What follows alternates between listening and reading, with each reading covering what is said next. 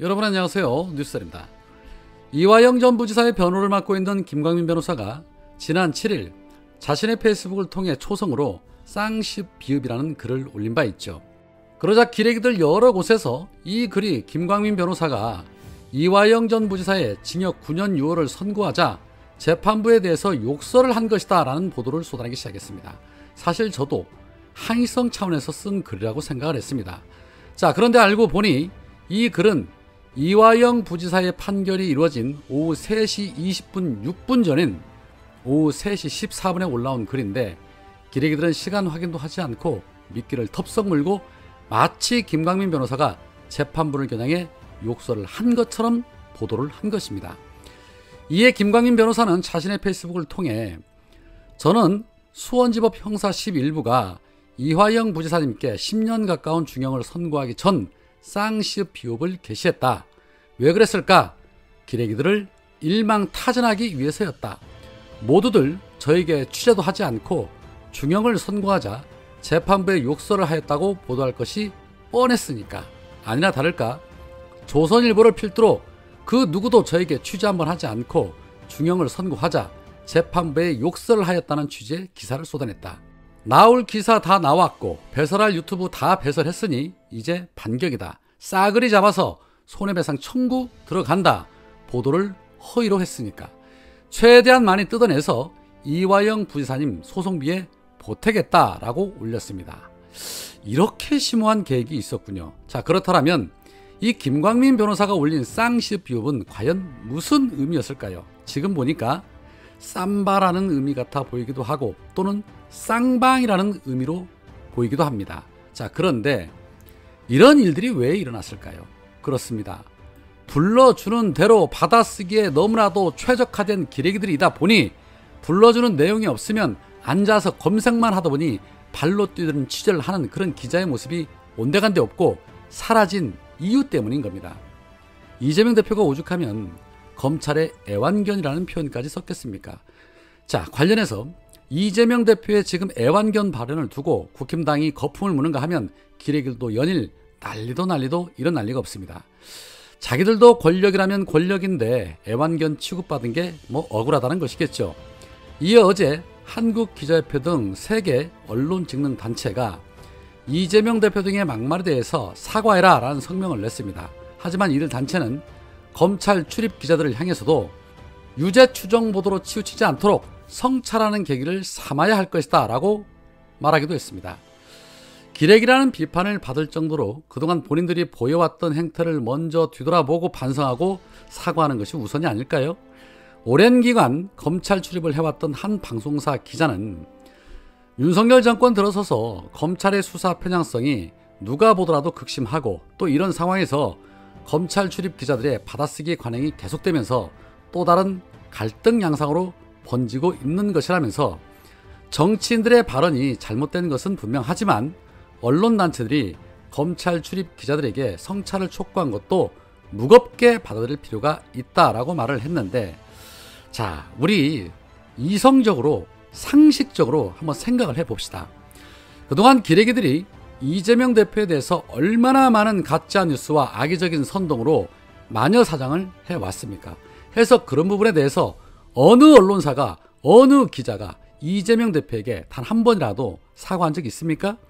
대장동 의혹부터 시작을 해서 변호사비 대납, 백현동 쌍방울 선거법 위반 의혹, 성남FC 의혹, 조폭 연루설, 하물며 김혜경 여사의 법학 의혹, 거기에 자녀 문제까지 한 사람을 이렇게도 무참하게 유린하는데 앞장섰던 자들이 바로 기레기들입니다.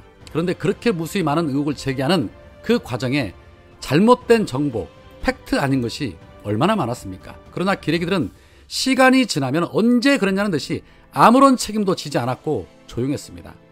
검찰의 애완견이라는 표현이 전곡을 찌를 정도였다라면 그동안 이런 거 저런 거 따져 묻지 않고 묵묵히 조사 받을 거 다 받고 재판까지 다 받고 있는 이재명 대표가 받은 상처는 너덜너덜 하다 못해 가로가 됐을 겁니다. 그런데 이 한마디에 꽂혀 사과를 요구하다니요. 본질은 외면한 채 정말 기가 찹니다. 그렇게 이재명 대표에 대해서는 사과를 요구하면서 왜 윤석열 정권이 언론 말살 정책을 펴고 있는 것에 대해서는 더 적극적으로 대처를 못하는 겁니까? 물론 일부 깨어있는 언론인들이 윤석열 정부의 언론 탄압에 맞서서 열심히 싸우고 있지만 그렇지 않고 권력에 기생하는 기레기들이 더 많습니다. 이재명 대표가 애완견이라는 표현을 사용한 데는 다 그만한 이유가 있습니다. 기레기들 긴장해라 라는 것이라고 봅니다. 그래서 어제도 직접 모두 발언을 통해 웃어가면서 이게 상식적이냐 이화영 부지사가 바보냐 정신 나갔냐라며 대북 송금 사건이 얼마나 형편없는 주작 소설인지 따져 물었는데 분명한 건 지금까지 이재명 대표가 버티며 이겨낼 수 있었던 힘은 바로 이재명은 한다면 하는 사람이었다는 것입니다. 그래서 시민들 역시도 그런 이재명을 믿고 신뢰하고 지지하는 것이고 이재명 대표 역시도 그 힘을 바탕으로 더 전진하는 겁니다. 그런데 어제 동아일보에 이재명은 합니다. 이제 그 말이 무섭다는 제목하에 이재명 대표가 성남시장 시절부터 현재까지 걸어온 길을 언급하며 끝에 행정가 시절 이재명은 한담에 하는 불도저 추진력이 인기를 끌었다. 하지만 행정과 정치는 다르다. 민주주의는 원래 독재보다 복잡하고 비싸고 불편한 것이다. 그냥 그렇게 자기 하고 싶은 대로만 한다고 되는 게 아니다. 대체 이재명은 어디까지 할 건가 라고 비판과 동시에 반문을 했습니다. 쉽게 말해 이재명의 독주 독재 체제가 못마땅하다는 소리입니다. 정작 독재 정치를 하고 있는 윤석열에게는 그런 말 한마디도 못하면서 말이죠. 어디까지 할 거냐고 물었는데 간단합니다. 아마 정권 다시 찾아오고 대한민국 적폐들 다 청산할 때까지 해야 한다고 말할 겁니다. 이재명은 합니다라는 그 슬로건 그냥 선거 때 잠시 잠깐 생긴 문구 아닙니다. 어디까지 할 건지 한번 계속 쭉 지켜보면 알게 될 겁니다. 자, 그런 가운데 민주당의 일명 기소수사 분리 윤곽이 나왔다고 합니다. 결과적으로 검사를 수사관으로 만들고 검찰청 폐지하고 중수청과 기소를 담당하는 공소청을 설립한다는 겁니다. 그리고 기존의 수사 검사는 모두 수사관이 되는데 경찰에 맞춰 직급도 조정하는 안으로 검토한다고 합니다. 당연히 그래야죠. 의사들도 파업하고 난리가 나더라도 의료 개혁도 하는 판인데 검찰 개혁 못할 이유 전혀 없지 않겠습니까? 이게 바로 이재명이 하고 있는 모습입니다. 지금 민주당 너무 잘하고 있습니다. 자, 끝으로 대북 송금 사건과 관련해서 역시나 팩트를 기반한 기레기들의 보도 적습니다. 우리가 언론이라는 생각으로 계속 팩트를 퍼날라야 하는데 어제 서영교 의원이 법사위에서 공부를 참 많이 하고 있다며 이 사건에 대해서 설명을 아주 디테일하게 잘 해줬는데 서영교 의원의 발언으로 마무리하겠습니다. 오늘 제가 법사위를 하면서 다시 공부를 했습니다. 이재명 대표 쌍방울 관련한 이야기를 한번 해보도록 하겠습니다. 여러분, 기억을 한번 되짚어 봅시다. 기억을 되짚어 봅시다. 대통령 선거하면서 쌍방울에서 이재명 대표 변호사들의 변호사 비를 대납했다라고 하는 게 이 사건의 시작 아니었습니까? 맞습니다. 이재명 대표 변호사비가 많이 들었는데 그 변호사비 대납을 쌍방으로 했다며 쌍방을 수사한 게 시작이었습니다. 그런데 수사하고 딱 까보니까 거기에 이재명 대표 변호사들은 없고요. 누가 있냐면 검찰 관계자들만 잔뜩 거기서 쌍방울 돈을 빼먹고 있었더라는 겁니다. 그리고 가깝고 친한 사람은 윤석열 검찰총장하고 가까웠던 사람들이 쫙 포진되어 있더라는 겁니다. 그래서 그거 부랴부랴 덮었잖아요. 그러면 이재명 대표는 이와 아무 관계 없는 거 아닙니까? 그런데 괘씸해서 김성태 쌍방울 대표 수사하기 시작한 겁니다. 수사하고 수배 내리고 불러들이고 이거 뒤지면 뭐가 있어? 라고 수사해서 뒤졌더니 김성태 대표가 북한하고 주가 조작했다는 게 나왔다는 겁니다.